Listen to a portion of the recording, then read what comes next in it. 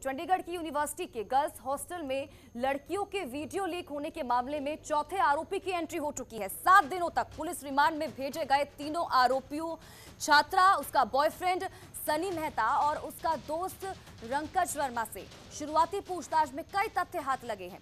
छात्रा के मोबाइल से एक दर्जन से ज़्यादा वीडियो रिकवर कर लिए हैं। हालाँकि पुलिस की माने तो रिकवर किए गए सभी वीडियोस उसके अपने हैं। पुलिस ने व्हाट्सएप चैट ट्रांसक्रिप्शन भी हासिल किया है, जिसके मुताबिक आरोपी छात्रा किसी मोहित से चैट कर रही थी।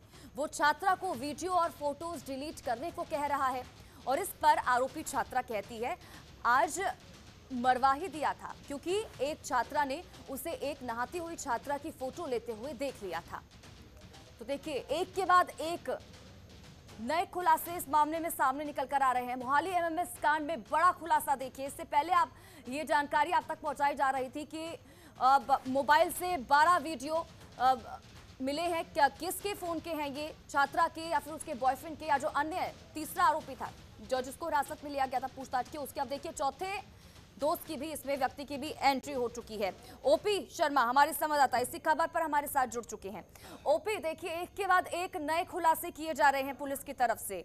अब देखिए, इसमें चौथे इंसान की भी एंट्री हो चुकी है, कहा जा रहा है। क्या जानकारी, कौन है ये चौथा व्यक्ति? जानकारी इसको लेकर।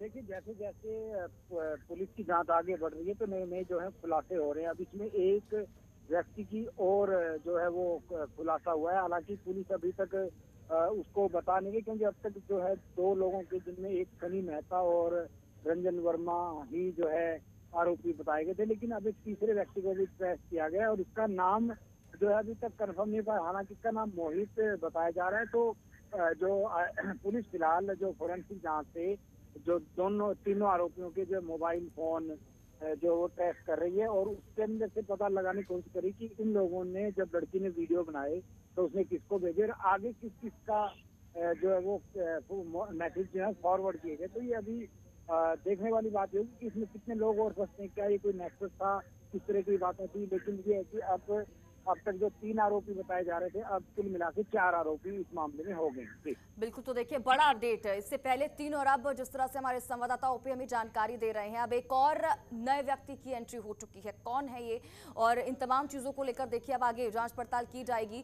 हालाँकि ओपी इससे पहले जानकारी सामने निकल कर आई थी कि 12 वीडियो जब फ़ोन खंगाला गया तो 12 वीडियो सामने निकल कर आए हैं। क्या इसको लेकर कोई जानकारी कि किसके फ़ोन से बरामद हुए हैं, किसके फ़ोन से मिले हैं? छात्रा के उसके बॉयफ्रेंड के या फिर जो तीसरा था, जो उनका दोस्त था, उसके मोबाइल से ये मिले हैं। देखिए, फ़िलहाल ये कंफर्म नहीं किया जा सकता है कि ये बारह जो वीडियो मिले हैं, किसके फ़ोन से मिले क्योंकि कुछ चीज़ें हैं जिनको पुलिस अभी तक पूरी तरीके से सार्वजनिक नहीं कर रही है। सब कुछ जो है अपने सूत्रों के आधार पर ये खबरें कर हैं, लेकिन हाँ इतना ज़रूर है कि बारह वीडियो की रिकवरी की बात सामने आ रही है, लेकिन अब देखने वाली बात ये कि ये बारह वीडियो मुख्य सोर्स से आए हैं। मतलब क्या आरोपी लड़की के मोबाइल से मिले हैं क्या? और उसके बाद क्या वो बारह वीडियो जिन दो आरोपियों को रंजन और जो सनी मेहता थे, उनको जो भेजा गया क्या उनके मोबाइल से भी उनकी बारह की रिसीविंग होती है और आगे वो किसको, किन किन को भेजे गए और उसके बाद जिनको आगे भेजे गए, उन्होंने आगे कितना फॉरवर्ड किया? तो ये एक जाँच का विषय है, लेकिन पुलिस इसको लेकर अभी तक कुछ भी बोलने को तैयार बिल्कुल तो देखिए जैसे जैसे इस मामले में आगे तफ्तीश बढ़ती जा रही है पूछताछ की जा रही है छानबीन की जा रही है नई नई चीज़ें सामने निकल कर आ रही हैं। और अब एक और चीज़ की इसमें चौथे व्यक्ति की भी एंट्री हो चुकी है। अब ओपी अगर बात की जाए इस चौथे शख्स की जि, जिसके बारे में अभी जानकारी सामने निकल कर आई है इसको लेकर कोई और जानकारी मिल पाई है? कहाँ का है जो ये व्यक्ति है कहाँ रहता है? जो छात्रा थी वो कब से इससे बात कर रही थी कॉन्टैक्ट में थी? कितने समय से ये लोग दोस्त थे? इसको लेकर कोई जानकारी मिल पाई है?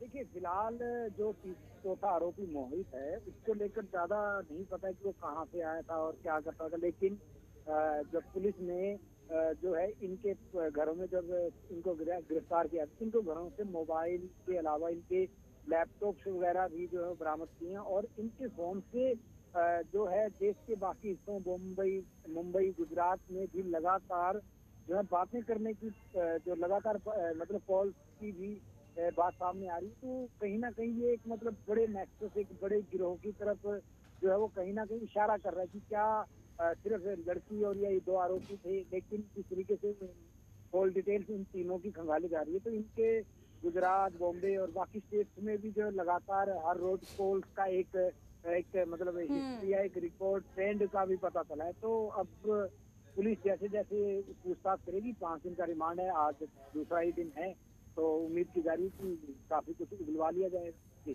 बिल्कुल तो देखिए, लगातार ये कोशिश की जितनी भी इंफॉर्मेशन बाहर निकल कर आती है, तमाम चीज़ों को लगातार, इन्हीं चीज़ों को लेकर लगातार छानबीन और जाँच पड़ताल की जा रही है, पूछताछ की जा रही है, और इसी चीज़ को लेकर ओपी हमारे संवाददाता हमें जानकारी देते फ़िलहाल ओपी बहुत बहुत शुक्रिया तमाम जानकारी के लिए और हमारे साथ जुड़ने के लिए।